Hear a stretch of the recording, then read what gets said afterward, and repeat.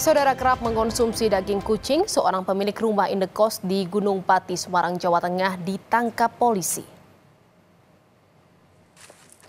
Tim unit reskrim Polsek Gunung Pati mendatangi rumah indekos dan mengamankan pria paruh baya warga Gunung Pati, Semarang pemakan daging kucing. Di lokasi, polisi menemukan bekas pembakaran serta sisa tulang kucing yang dibuang di saluran air. Polisi menyatakan pelaku telah dibawa ke Polresta Semarang dan masih menjalani pemeriksaan di Satreskrim Polresta Semarang. Polisi juga berencana memeriksa kejiwaan untuk memastikan motif pelaku yang gemar memakan daging kucing itu.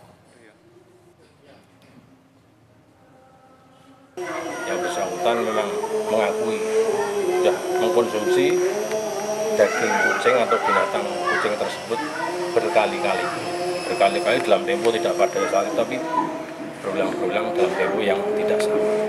Kurang lebih ber 10 kali ya? 10 kali. Berkali-kali dalam satu tahun. dalam satu tahun. Untuk penanganan perkara lebih lanjut. Kita serahkan ke unit reskrim Polrestabes Semarang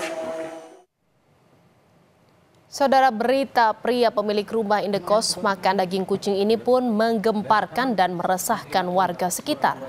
Sejumlah warga mengaku memang dulu pernah mendengar kabar soal pelaku memakan daging kucing dari salah seorang penghuni indekos. Oh, waktu dulu tahun 2010 ya, itu kan ada yang kos. Dia cerita katanya babat. Membeli kucing. Terus yang kos lari. Tetangga-tetangga itu seperti apa Pak? Orangnya ya, kan jauh dari pemukiman warga jadi kan nggak begitu hmm. orangnya dekat ya nah, itu. Jarang sosialisasi jarang, ya? kurang paham. Makanya tadi pagi saya juga kaget dikabari dari teman-teman. Hmm. aparat juga kaget